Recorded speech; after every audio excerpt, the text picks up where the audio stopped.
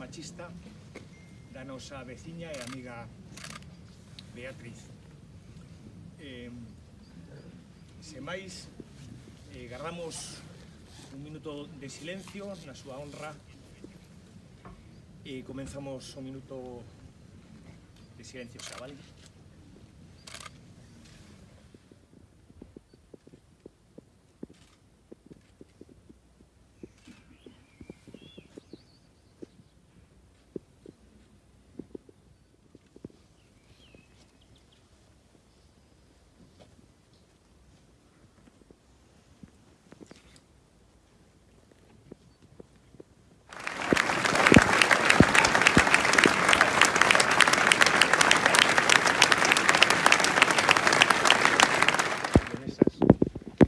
Un apoio incondicional a, toda súa familia.